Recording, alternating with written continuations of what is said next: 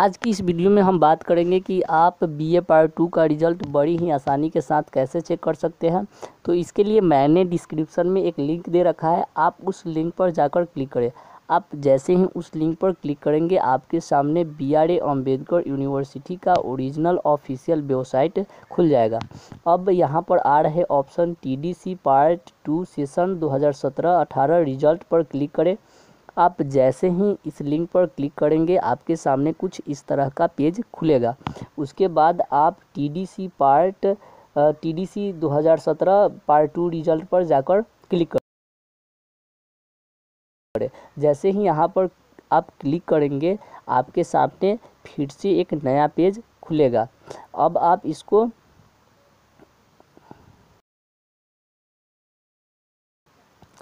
अब यहाँ पर ये नया पेज खुल चुका है।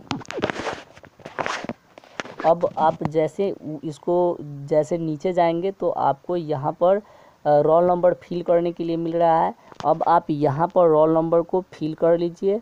रोल नंबर भरने के बाद रोल नंबर यहाँ पर भर लेते हैं। अब रोल नंबर भरने के बाद यहाँ पर कैप्चा कोड जो दे रहा है सेम इसी को देख करके आपको यहाँ पर नीचे सेम भर लेना है। तो हम यहाँ पर इसको देखकर भर लेते हैं।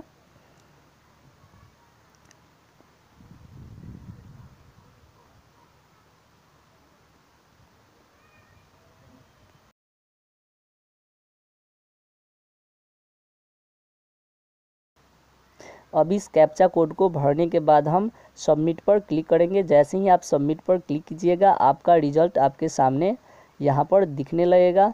इस तरह से आप बड़ी ही आसानी के साथ अपने रिज़ल्ट को चेक कर सकते